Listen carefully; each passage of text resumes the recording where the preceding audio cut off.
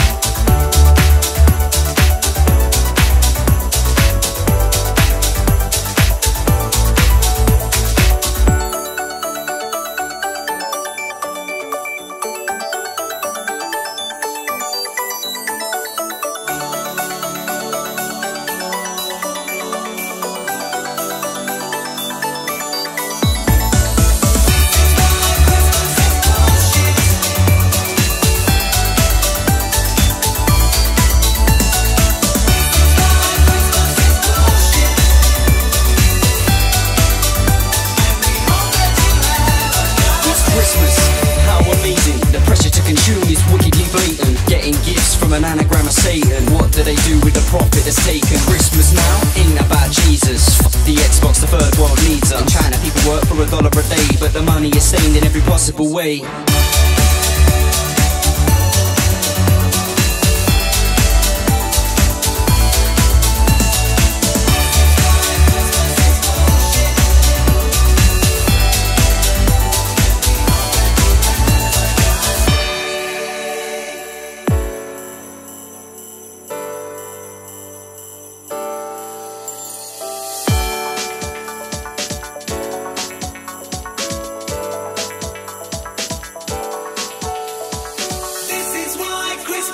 Bullshit. With the stress of the day and the money we pay.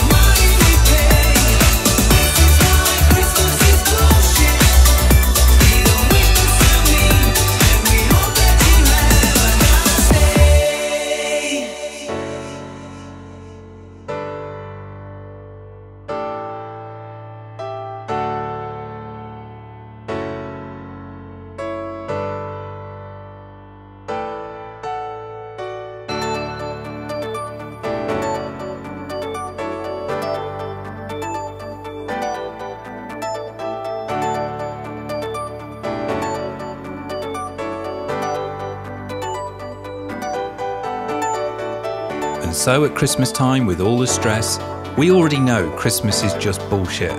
So let's stop the Christmas trap and work to bring true peace on earth by respecting the needs and desires of others as highly as we regard our own, equally and as one.